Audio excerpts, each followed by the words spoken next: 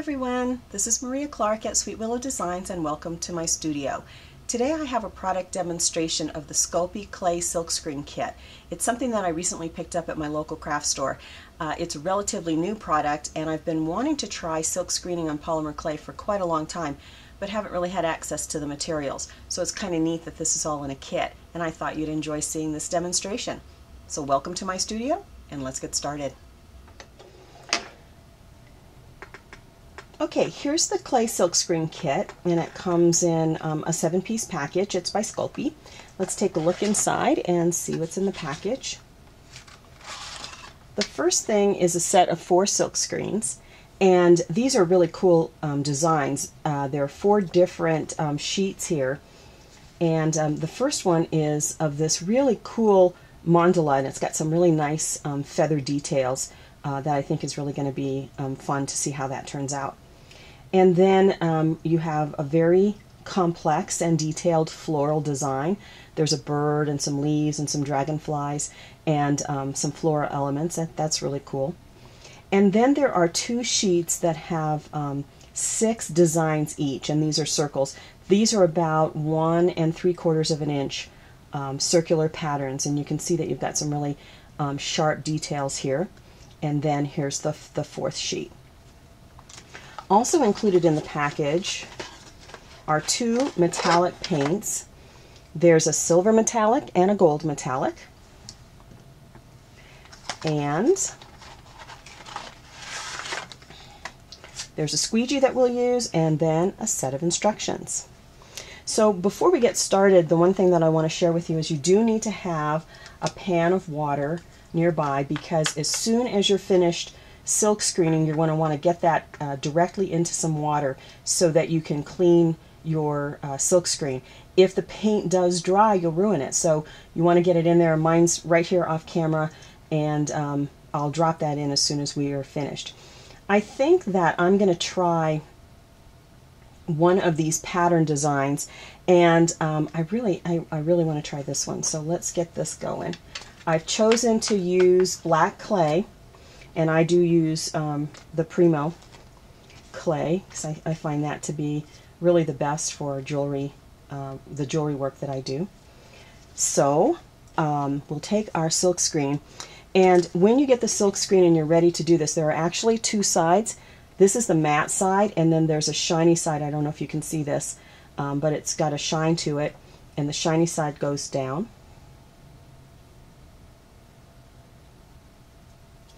And so we'll just lightly smooth that on. And then I'm going to go ahead and try the gold uh, metallic paint. So we'll just shake that well.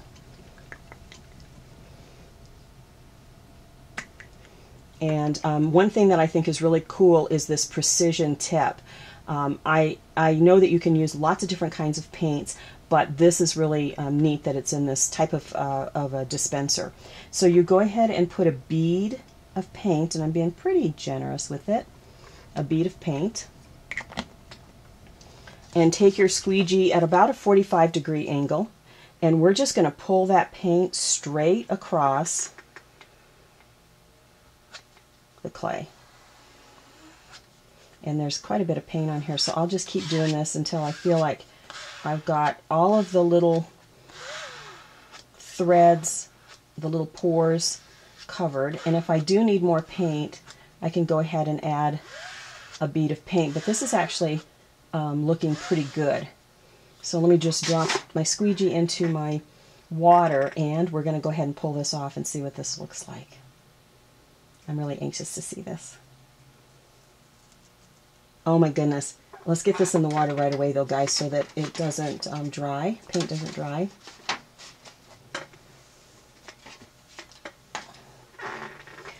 This looks fantastic. You can really see the image really well, and there's a lot of detail here actually. So I, um, I'm really pleased with this. One thing I did note is that as you pull the paint through, there is a, a bit of texture um, because it's going through the, the pores of the silk screen. And I actually kind of like that. I, I, like seeing the texture, so I think that's really a neat effect. Um, so I, I'm really thrilled with the way this turned out. I think it's really a neat uh, product. I got a little droplet of water there, so let me get that off. Okay, so what we need to do is go ahead and let this dry. And so I'm going to put that aside because I did another one of the designs a little bit earlier and I thought I would show this to you because you're going to love this. So this is actually that mandala design that I was telling you about and I did it on uh, fuchsia clay and I just ran um, it through with the silver and I think it turned out absolutely gorgeous. Very sharp, very crisp, great, great detail. So I'm going to go ahead and let these pieces dry and we'll come back in just a few minutes and we'll cut them and give you a look at how they, uh, how they bake up. Be back in just a minute. So what I'm going to do is go ahead and cut these out. Now one thing that I will share with you is normally um, if I were to cut circles or any kind of shape with my cutter, I would actually be um, putting a sheet of plastic over it so I could get a nice beveled edge. But I did notice with these, um, because it's a paint applied to the surface, that um, when I did that, it actually lifted up the clay. So um, I don't recommend that you um, try to cut this with plastic over it, but you can kind of bevel the edge with your fingers uh, after you've cut it. So Sculpey also has these circle metal cutters, and there's, of course, a perfect size to match these. And as I mentioned, these are about one and um, uh, three quarters of an inch. So I've got the circle cutter and it's really easy to just line these up and make your cut.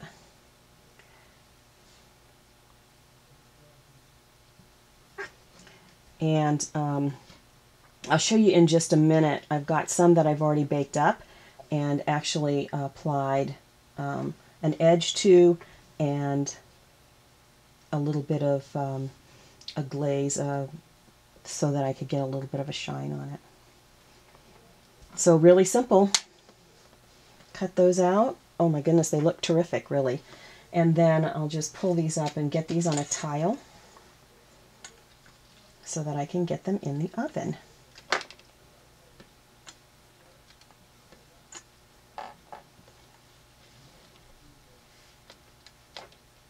Okay, we'll go ahead and set these aside and I'll put those in the oven in just a little bit. And I actually have some that I have already baked. And as I mentioned, I um, I I put a bit of a glaze on or a, a, a gold leaf edge with just a, a gold leaf pen, and then I put a little bit of a glaze so that I could get a nice shine. And I think actually these turned out absolutely beautifully. So I'm really anxious to see how they look in a necklace. I've done a couple of pieces I just want to share with you and you can see how easy it is. These are just very simple uh, dangle earrings. So I cut these out of one of the um, floral uh, sheets and then just added a little eye pin and an ear wire. Here's a little um, simple window pendant uh, with two colors of clay and I just used cutters and a little pinch bail. And then here's a final one, which is just a sort of a funky abstract kind of pod uh, shape design. So it was really fun to use these, and I'm really looking forward to trying them uh, out quite a lot more. I have lots of ideas uh, for how to use these. The last thing I wanted to uh, share with you, or one of the last things, because I've got one more little treat uh, tip coming up, is you'll notice that um, on the clay you'll have some extra metallic paint. Don't worry about that just condition it and you'll have just a little bit of sparkle from the mica from the paint. But it's no problem to just go ahead and reuse that clay. And I'll just set that aside because I'll be using that a little bit later. The last thing I wanted to share with you is a tip on storage. These silk screens are actually pretty delicate in terms of um, how you would store them. Uh, they'll last for a really long time if you take care of them. So I just got one of these photo uh, books, and this is a 5 by 7 um, and I just got it like at the dollar store or something like that. I think it, it only cost a dollar. And so it's really simple, but it's got these little sleeves in it, and the 5 by 7 side is perfect. So I can just go ahead and slip my silk screens in here, and I have a really nice convenient way to store these. And if any more come out, I'll be sure to fill that up and um, take the opportunity to to do that. So I'm really thrilled. Um, first of all, I wanted to just say I'm really thrilled with the way this product worked. I think it's a terrific kit. I love the way um, these turned out, and the designs are great, and I'm looking forward to seeing more designs from Sculpey. So I hope you enjoyed that demonstration. Uh, give Leave me a comment below and let me know what you thought, and I'll look forward to putting some more of these together. Take care, everybody.